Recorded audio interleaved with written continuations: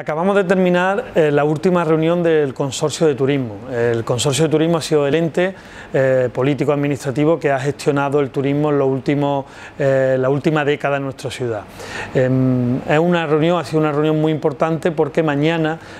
tenemos un pleno extraordinario donde se creará el nuevo ente turístico que gestionará el turismo los próximos años en nuestra ciudad, el INTUR, el Instituto Municipal de Turismo de Córdoba. El INTUR, el Instituto de Turismo, tendrá dos partes importantes. Por un lado, un consejo rector, donde estará toda la representación política más el consejo del movimiento ciudadano. Córdoba es una ciudad de diálogo, una ciudad donde queremos construir colectivamente y por eso era muy importante para nosotros que el Consejo del Movimiento Ciudadano, como parte importante de la gestión diaria de la ciudad, pues estuviera en el Consejo, en el consejo Rector. Y luego estará el Consejo Asesor, que eh, emitirá eh, informes importantes que tendrán que ser valorados en el Consejo Rector, donde queremos ya consensuar todo lo que es la política turística. Ahí estarán los empresarios, estarán los sindicatos, estará la Universidad de Córdoba, estará eh, bueno, pues todo lo que tiene que ver eh, con eh, los agentes económicos y sociales